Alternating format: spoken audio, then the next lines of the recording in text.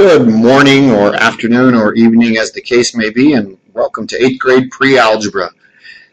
This is a quick overview of the class and the ideas and the syllabus and the topics that we're going to cover during the year so I hope you're ready to do some math. For those of you who are new to the school or perhaps just remembering uh, or just forgetting after summer I guess I should say, uh, there are a number of ways to get information about the class and about the school. The best way to start off something is the dashboard. You all should have this as part of your bookmarks. Might look a little different from mine, but you'll still be able to get to the same places. And the portal is a super place to start. When you log into the portal, you'll be able to go to your classes, and one of your classes should be pre-algebra block C. Your portal page might look a little bit different from this, but it should have the same general idea, including this resources box over here to the side. Okay, you should check out that resources where you'll see general class resources and links. Inside is the class syllable and a piece of electronic graph paper, which we'll be using in your very first assignment.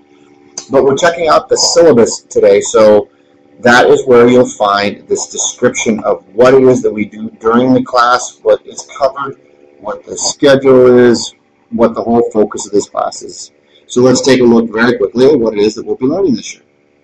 Obviously, my name is Dave Stutz. You can call me Mr. Stutz. My email address, stutzd at asbindia.org. That's the best way to get a hold of me is through an email. Just send me a message whenever there's a question.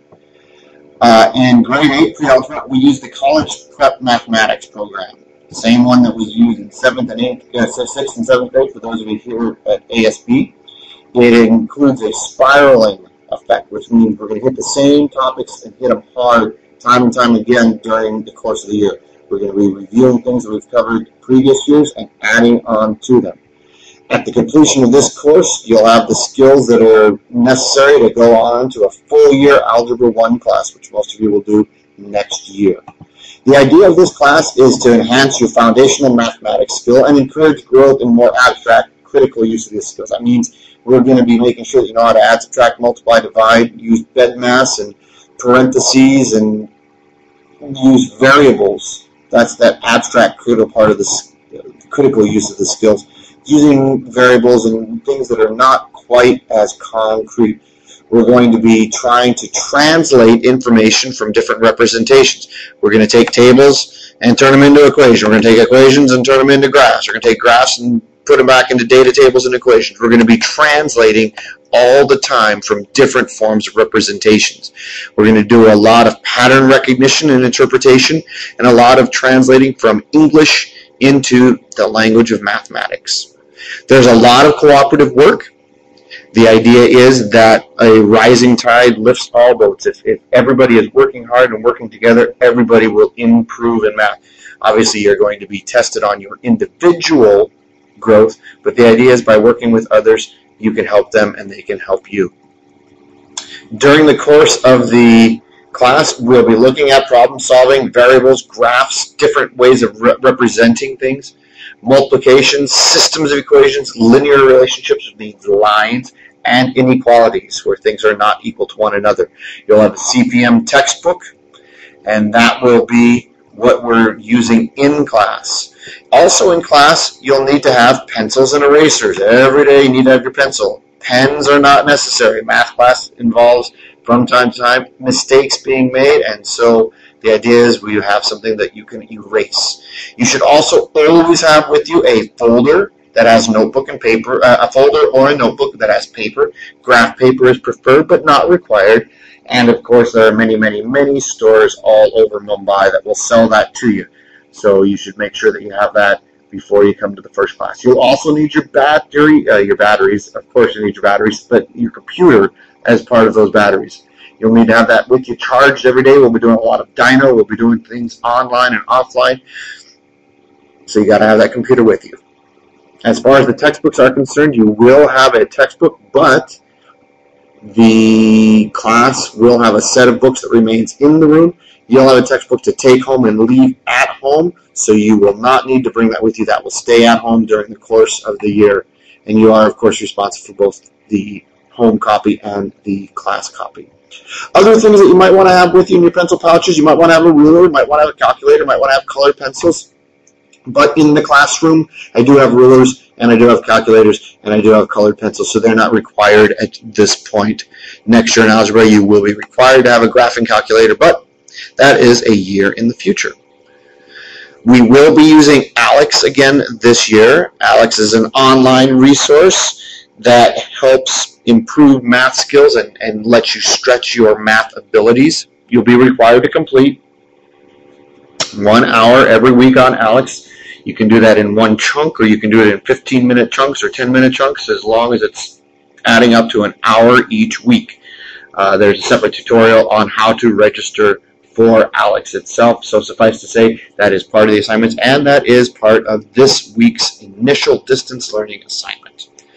Now, math teachers all over the world love to say this, and so I will repeat their words of wisdom. Mathematics is not a spectator sport. You have to work to improve. It's like playing a game. It's like playing a musical instrument. It's like anything. In order to get better at it, you need to do it over and over and over and over and over again. That's the only way to success in math. Your grades in class will be uh, will be determined by tests, projects, quizzes in class and out of class assignments and homework and your ALEKS. The grades will be weighted according to the type of assignment they are. The math department grading weights give tests and project 45% of your overall score, quizzes 25, class and homework 25, and ALEKS 5%. At the end of the year, the second semester, just looking ahead, 10% of your overall second semester grade will be made up of your semester exam. So just be prepared for that. Obviously, there are behavioral expectations, the idea that ASB and middle school campus rules are going to be followed. The main one of those is the idea of respect. If you respect yourself, you respect others, you respect your teacher, you respect the materials in the school, you should be fine. Don't do anything to them that you wouldn't want done to you. Obviously, the idea is that while we work together, you are learning on your own. So, in a situation where you are not supposed to be using other people's work, cheating or plagiarizing from them will result in a zero on that assignment, a note to the principal, and possibly a meeting with him, and a phone call home. So do your own work. Uh, when people are talking, with that includes me or others, give them quiet and courtesy. If there continues to be an issue after a gentle warning with inappropriate behavior, then don't be surprised at all if you are invited to come spend break and or lunch with me. Yes, detentions will be assigned. And of course, you should always, always, always bring your homework and all your materials to class. Okay, I have listed here a number of websites that will give you some help and extra practice. One of the most important of those is HotMath. HotMath is the textbook web page where for selected problems they show you how to work them out. It's a great place to go when you are stuck on something and you need a little extra help. The ASB portal, that's the best place to go in terms of having a lot of resources. As the year goes by, there will be more and more resources added here. There are already some links that I've put up for you go ahead and check those out. And I certainly look forward to a great year in pre-algebra with you. Thanks. And now we'll turn off the recording.